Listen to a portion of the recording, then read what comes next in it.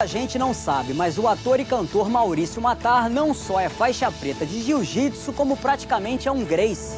Maurício Matar deu uma aula sobre as diferenças entre brigar e lutar.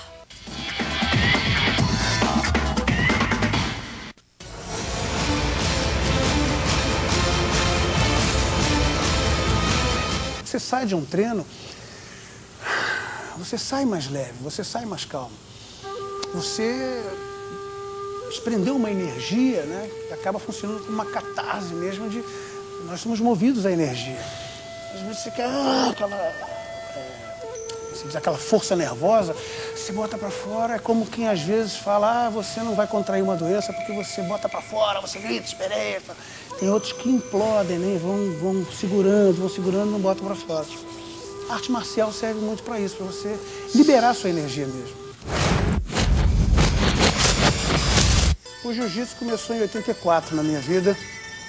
Eu fui levado à, à academia da família Grace na Figueiredo Magalhães, em Copacabana, e comecei a treinar com Carlos Grace Júnior na época.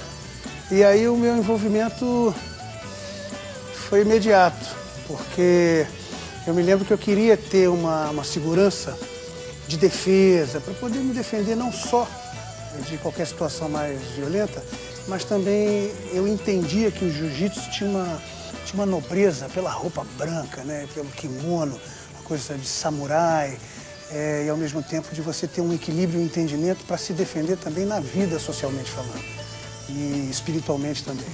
Então, esse foi o motivo pelo qual eu procurei o jiu-jitsu e me interessei por essa arte marcial. Minha relação com o Maurício é a melhor possível. Ele foi casado com a minha mãe, ele é pai da minha irmã. Então, a gente conviveu por anos, morando na mesma casa. E a gente, depois disso, sempre que ele, ele viajava com a minha irmã, eu ia junto. Então, a gente tem uma relação muito próxima. E um, o Maurício, como lutador, né, ele Tá de parabéns. Na verdade, ele aprendeu direto da fonte, né? Então não tinha como ser diferente. A relação dele com a família Grace vem há muitos anos. Costumo chamar desde pequenininha que é a quirinha do cabelo de linha ou quirosca do cabelo que enrosca. Mas isso é nas internas familiarmente.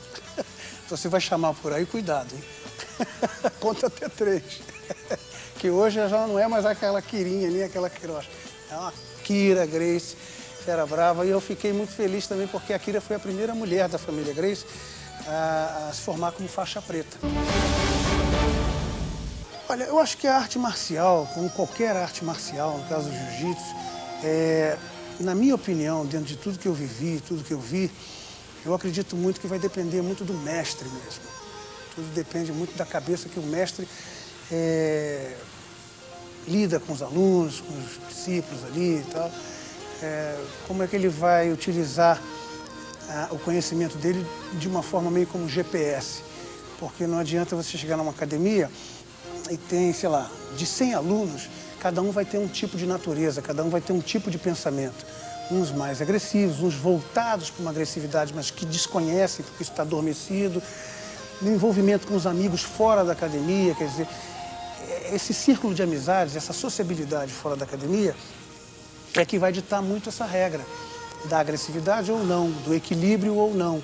Mas acredito que, muito em parte, isso vem do, do mestre. Eu acho que o que ele conversa ali, o que ele coloca como, como obrigação de um, de um lutador, acima de tudo é o equilíbrio, a serenidade, é, ser pacífico, é, controle da mente. E o, a própria arte marcial, ela te proporciona isso. Você quando faz um treino com a cabeça de treinar para botar os seus cachorros para fora, entendeu? O que te faz mal, é, o jiu-jitsu no caso é um xadrez. Então, é, você colocar uma sequência e o adversário de repente parar essa sequência e colocar a dele e você ter que obedecer aquela sequência que ele impôs para que você coloque a sua mais na frente. Com sensibilidade, você retratar o que ele colocou para você impedir já se, se colocar para uma próxima, enfim. Isso é muito inteligente, isso é muito prazeroso.